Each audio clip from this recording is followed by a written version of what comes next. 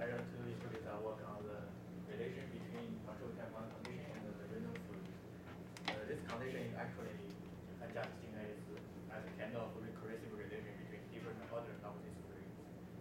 the Rindler fluid is uh, recent years proposed uh, is kind of similar to the ADS fluid. Uh, similar to the fluid due to ADS space. It's a kind of, we can consider it as kind of special fluid due to Rindler space. And uh, my com- I will like to introduce the condition of Rindler fluid.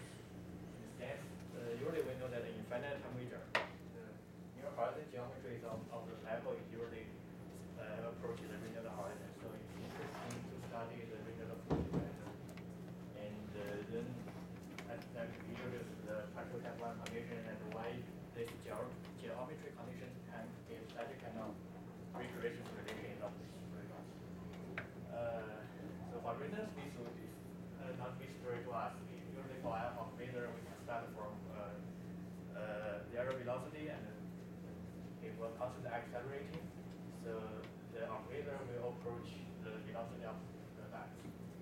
Uh, and uh, uh, but usually in the gravity, we also have uh, some dispersions that uh, higher dimensional gravity can be described by the some lower uh, lower tensors.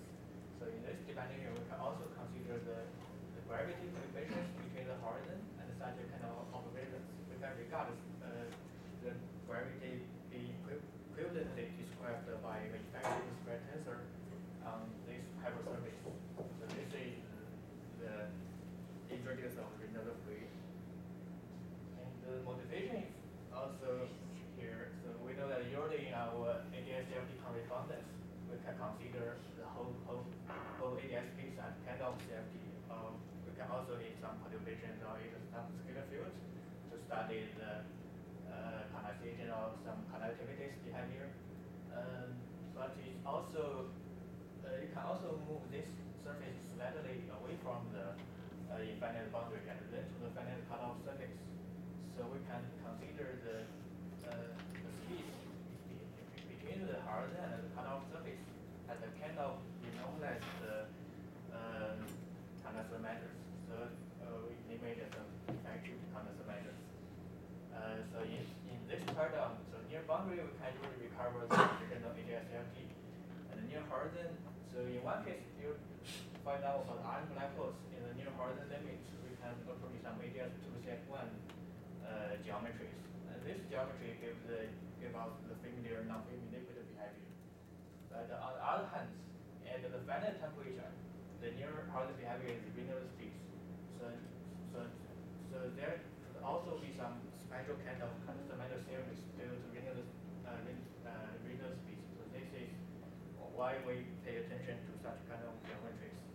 On the, uh, on the other hand, it also might be related with the traditional uh, membrane, membrane paradigm of the black holes, which, which stated that the black hole can also be considered as a, uh, the membrane fluids around uh, approaching the horizons.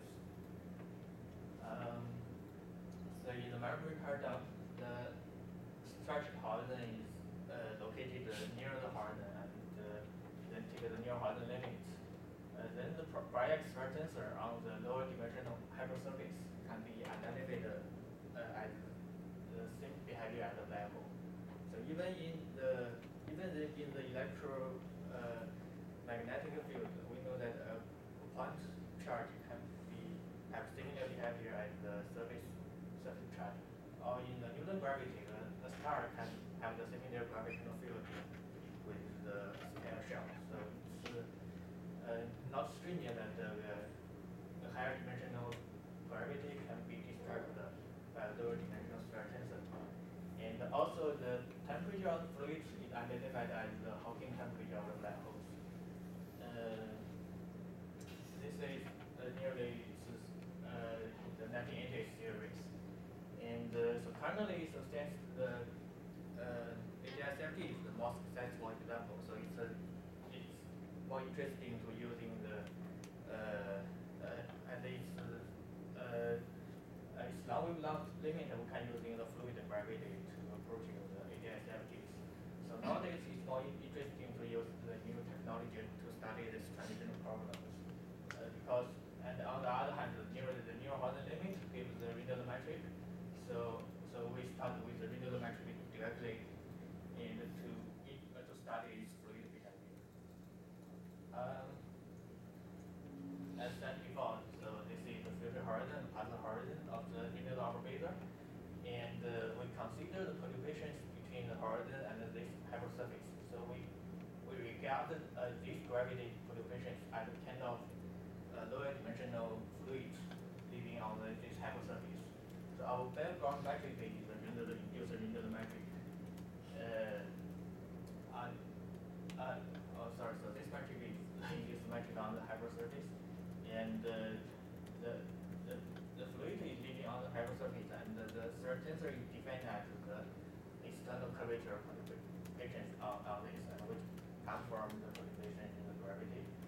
And uh, especially the uh, G mu is the Einstein tensor, and uh, it's a relation between the uh, geometric quantities and and the, the tensor, and the Gauss-Codazzi equations give the constraint of the third tensor, and the Hamiltonian constraints give uh, give another relation of the third tensor. So this is usually considered as the Hamiltonian uh, state of the dual fluid, and this is dynamical equations. So usually in, for example, in three plus one dimension, we have the four plus one is five equations. And for the fluid, we have the energy density, the pressure, and the three velocity. So we have five variables and five equation. That equation is a self-consistent uh, system. So what? This T square is uh, what? Uh, so T is the trace of the third tensor. And, uh, Ah, trace of Trace, trace. yeah, yeah, Okay, so square of trace. Yes, we have a trace. T just uh, the find up three dimension dimension. And, uh, and so in more de- detailed studies, in these authors have uh, explained that these autobiology is just some traditional technologies in the fluid gravity correspondence, and we just make perturbation in the gravity background, and we, we solve these Einstein equations autobiology, and we, then we calculate the uh, third tensor on this hypersurface, such kind of uh, zeroth order, first order, and second order. And so for the zeroth order, so it's a special property of the Rindler fluid, and this fluid only has a pressure, it. Has zero energy density. So also from the other integral states, so it's very special. And uh, for the bulk viscosity, it's also zero, the shear viscosity also has a universal relation that e over f over one over four pi. And there is also some uh, second order coefficients, and these coefficients also obey uh, based on constraints from the uh, second law of thermodynamics. Um, okay, and here is the solution of the dual metric. So it's, you can see that it's very complicated uh, obtain these results, and it's uh, actually a long calculation. So, so I will go to introduce the recursive relation just to say that uh, this partial table relation can give a, a recursive relation between different orders. So it's only sense, uh, only we give the zeroth orders, and then we put this zeroth order third tensor into this relation. We can get the first order directly, and then the second order. Uh, we will Because since the gravity can be identified as a kind of special fluid, you know, it's just identified as the external curvature of this of this hypersurface. And on the other hand, the geometry, uh, the metric is related with the Riemann geometries, and uh, there is some also some symmetries such as the Weyl tensors.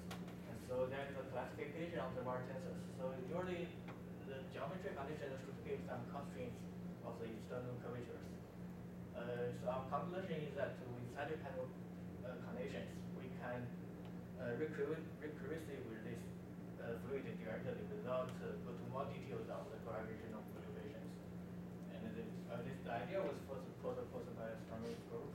It's, uh, the first work, they only give the relation between Einstein equations and the leading order Navier-Stokes equations. And we will show that uh, this relation can actually be generalized to first order and second order and exactly give a recursive relation of this Um, uh, so this actually come from some textbooks, uh, and they do not know much details about the Petrov type classifications. It's kind of a classification of different symmetries of the Weyl tensor. And so the Petrov type one is the more general case, and this more special case. For example, usually in our real black holes or curved black holes, our the, the, the space-time is kind of Petrov type D uh, space, and for some gravitational wave perturbations, it's type one or type three or different uh, due to the symmetry of the Weyl tensors. Here it's not important, and here we only using Petrov type one conditions. It just uh, uh, define the, the L and uh, L and the K are two narrow uh, uh, narrow frame, and MYJ uh, is Newman Penrose frames. And here the PID defined as the IP conference of or some conference of the Weyl tensors. And uh, so the conversion from of the Petrov type one just uh, we require th- these two constants to be there. And uh, so, so so the discovery of this condition in the first paper is actually uh, an accident. They just tried the gravitational solution and they found that such kind of solution can satisfy pa- Petrov one condition up to 15 orders. Just suggest that this condition might give some uh, interesting constraints of the user. So, so we improve this condition to the cover in the case and also to the higher order case. Checking that um, if we introduce the in the covariant frame, also after using the Gauss Codazzi equations, the one tensor can be project project on the hypersurface as kind of uh, relation between the external curvatures. And also more importantly, you can get that uh, the this condition is the relation between the uh, the zeroth order of uh, the the third tensor and the, the derivative of the third tensor. So in this case, it will give a constraint between the, the, the for example, the zeroth order and the first order of the tensor. So so since using the constraint, we can uh, there is the uh, constraint between different orders. And uh, so in more detail, and uh, we will show that uh, once using this relation, we can we can with the tensor order by order. Uh, for example, we just uh, uh, without uh, using the gravitational perturbation, we just assume the third tensor can be decomposed at the along the for velocity and pro, pro, proportional to the velocity, and this pi is arbitrary. And we using the Hamiltonian constraint, Hamiltonian constraint is still uh, used here. It's a kind of equilibrium signal of the fluid. And the Petrov type con- condition is introduced here, and put the tensor into these two equations, we can get these compositions. And uh, the zeroth order is still from the holographic calculation. It's uh, kind of zero but with finite pressure fluid. And we show that once we're using the equilibrium state as well as these conditions, we can uh, read out the zeroth order directly. And then using the zeroth order and first order and put into the equation, we can write the second order, uh, second order. Especially we compare this uh, tensor with the one calculated from the uh, gravity exactly reach the same calculations. Uh, but the procedure is much simpler. This page, takes only some uh, few minutes get the results. But the previous calculation uh, maybe need separate days to obtain the final results. So this is interesting to to uh, but our work is only to show show this relation. We didn't uh, didn't haven't find the multi physics behind this. And uh, on current work, we also our further we, we also generalize this relation to some higher curvature predictions. And uh, we also track this relation in the ADS fluids. But uh, certainly this uh, relation is only hold at the uh, background order and it barely at the zeroth order. So this means that uh, this might be a special properties of the Rindler fluid. Uh, we can also see that it's also a special properties of the near order range. So uh, on the other hand, since using this relation, we do not need to consider the gravitational perturbations. So it's also proposed that this kind of condition can might be equivalently to the choice of the regularity condition on the whole. Because usually in ADS-CFT correspondence, we need the uh, with some totally ide- ideas about the condition as well as the regular regularity condition on the horizon. So, so, so this condition might be equivalently to this condition, and also it might be provide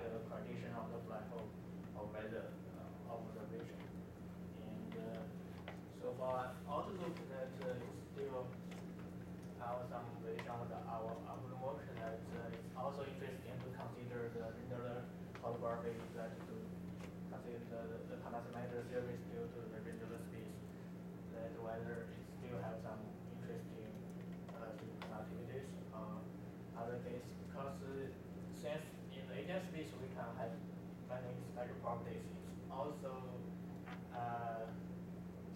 responsible to generalize it to the finite cutoff. Also near the horizon limit, there might be some universal properties.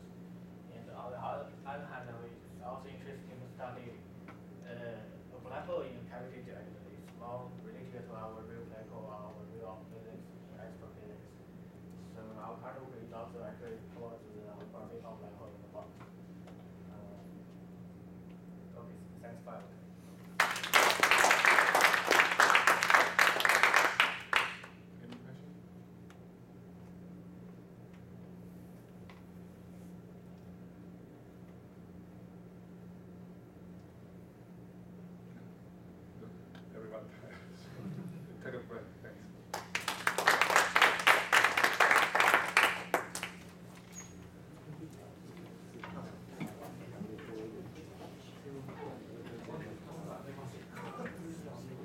doing.